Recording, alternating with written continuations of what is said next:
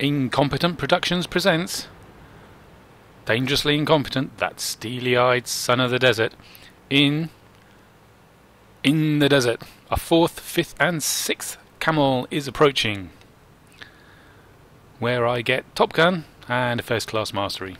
I'm driving the Centurion 7 1. We're on Sand River, it's tier 9 battle.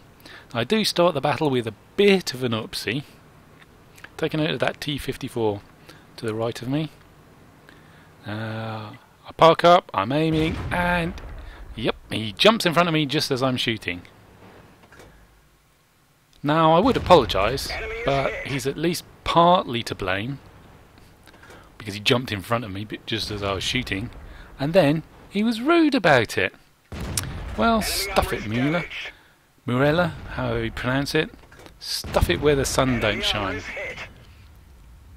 And his actions, well, and my shot, are going to cost him dearly, as you'll soon see. Now, I'm in my favourite position in G1, which is just made for the Centurion 7-1. I've got a low ridge to hide behind, I get hull down, just only expose my turret. I've got a tall hill just to the left of me, so if things get really nasty, I can pull back and hide behind that. And in the meantime, the enemy are milling around in the middle of the map. Hooray! And look at Mueller. He's exposing his tracks. He's already used his repair kit from my shot, and now it's going to cost him dearly. He's sitting there getting pounded because he exposed his tracks, got them shot off, and he's in the open, exposed, spotted, and blam blam blam. Oh dear. Such a shame. Couldn't happen to a nicer person.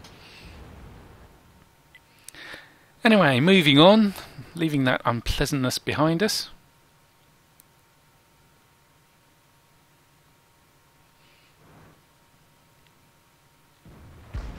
Now he's whinging about someone using gold on him. Oh dear, oh dear. I don't think he really has a clue. That my shots have dried up, not spotting anyone. You can see there's at least four people in the northwest. Oh, who's this? A Jag Panther? Side on, you say? Well, he's a long way away. Uh, let's try a blind shot.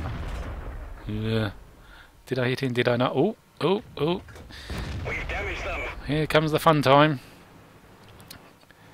Uh, going after him's a bit of a risk. Yeah, there we go. Now I've used my repair kit. Uh, oh, he should. He really should have stayed down a bit further. That T49. Enemy is hit.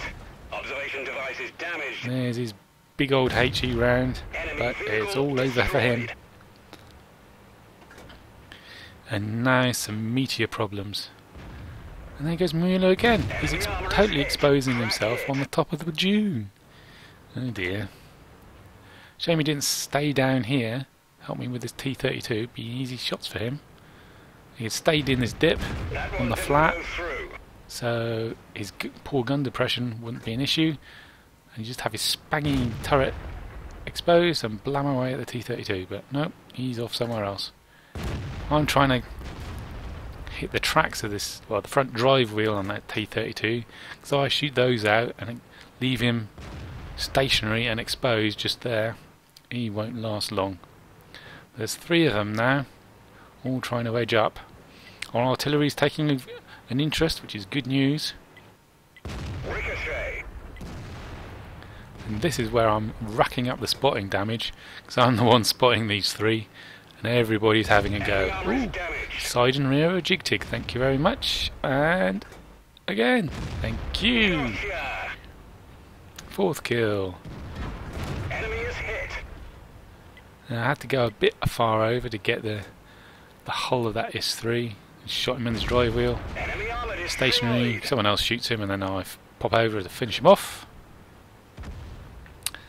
Someone else has bagged the T32, so that's all my spotting done. And we're up 11-3. It's an easy win from here on in, I think. One Jagdpanther 2, a long, long way away, but British gun. Accurate enough to hit them at that distance. And it's quite penetrating. Had to rush a bit for that AMX, and well, he managed the return shot. Cheeky so and so. Someone else bags in before I get revenge. That's it really, it's just cleaning up the last guy now. That's how you get Top Gun. Go to a nice position, hull down, raked back, use your gun depression, and the enemy have to come at you because it's assault. Easy peasy.